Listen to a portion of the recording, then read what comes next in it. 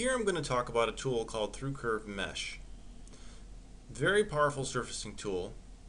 It's similar to the Studio Surface, but there's additional functionality within that I'm going to cover now, and then I'll eventually get into the other tools within Through Curve Mesh as well as Studio Surface. One thing that Through Curve Mesh allows you to do is use a point as one of the primary curves. So the mesh is looking for four sides at a minimum. You can pick multiple primary curves, so if you have several curves along in a primary, and then you also pick several cross curves coming across in the opposite direction from the primaries. So you can literally pick hundreds of primaries and cross curves. For this, I'm just going to have two primaries and two cross curves. So for my first primary curve, I'm going to select this edge. I'm going to select my middle mouse button to move on to the next primary curve. You can see here down here it says select primary curve. So for this next primary curve I'm going to select this point. Now this is one of the only tools that will allow you to specify a point to make a surface up to.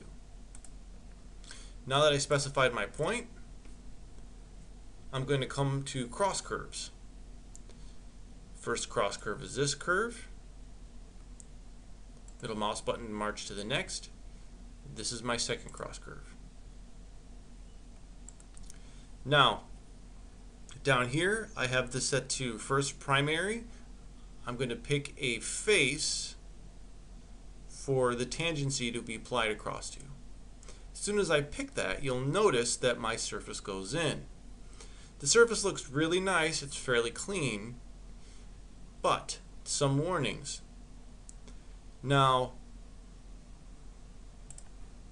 one of the dangers of creating a triangular surface, yeah, there's other tools that allow you to create triangular surfaces, such fill is another one of those tools, is that by doing so, what ends up happening, if I look at the control points, let me go to analysis, select this, and show poles, you'll see A, how complex this surface is, and you'll also notice that the control points all come down and merge at that one tip.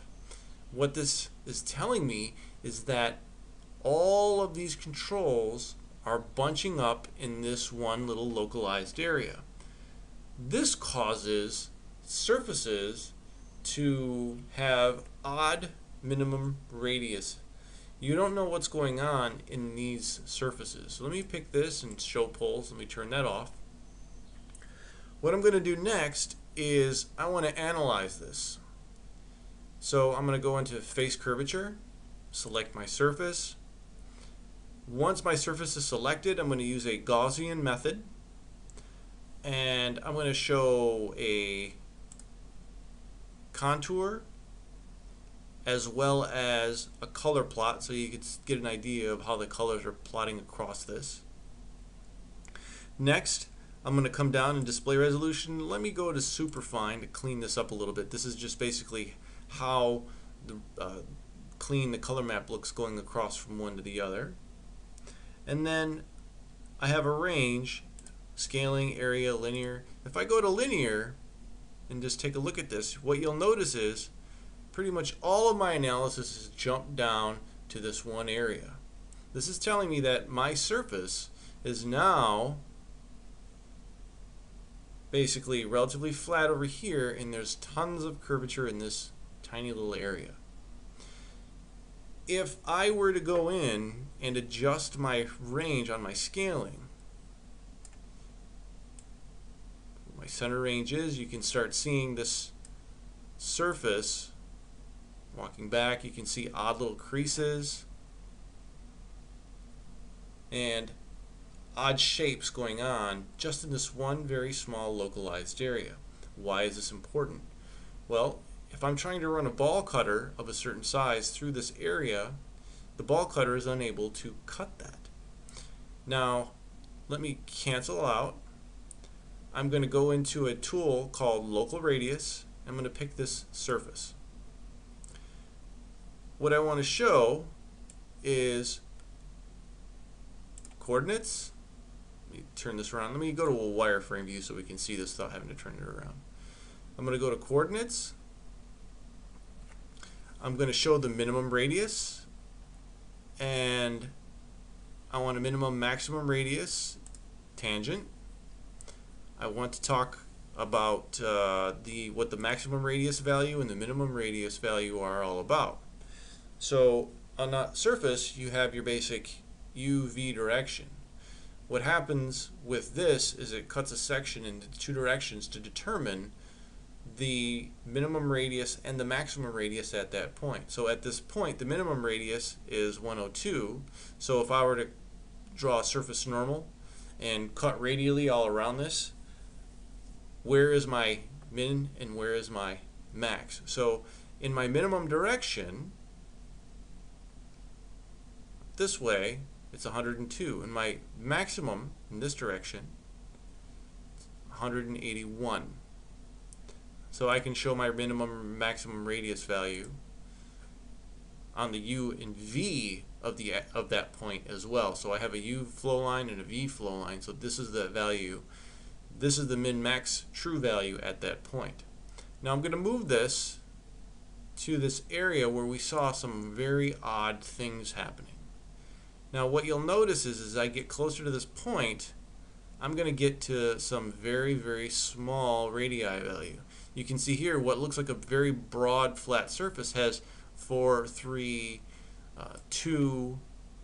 If I'm using a 25 millimeter ball, this, it's going to start jumping and get real jittery in this corner unless the NC guy cleans this up, which means that whatever they do in this area is not going to be truly representative because this cannot be machined. You may be able to do a 3D print of it, uh, but it'll look awkward, look funny, because you're going from such a large maximum radius to um, such a small minimum radius in a very, very short distance, very short direction. Select OK. One more thing I'm going to do is I'm going to show reflection lines on this surface. We'll go to black and white. And as you can see, let me go to super fine. Go ultra fine. What the heck? Really make it look pretty. And there's this convergence of all of those lines coming into this corner. So this is causing a distortion in the surface as well as it transitions and comes down to the point. So this method of creating a surface, although it's very possible, you should be very, very leery about doing it. Maybe you should take a step back and understand how you can build the surface without having to have a, a, uh, a triangular point coming in and uh, creating these odd little discrepancies in the surface. What you may do is you may actually have a section curve over here that you bridge off to and then you lay these curves down and split away the portion of the surface you no longer need. That way you don't get this type of result. So through curved mesh, one of the primaries can go up to a point. I do not recommend it. I strongly uh, do not recommend using it unless it's an absolute necessary tool.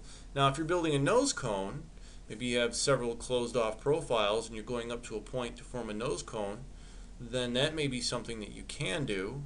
Um, something on uh, aerospace or whatever may not have truly circular sections and you may have several sections as you're going like on an airplane going up to that cone that uh, maybe a little flatter on one side and you have three or four or five sections to fill that nose cone and it eventually comes to a point.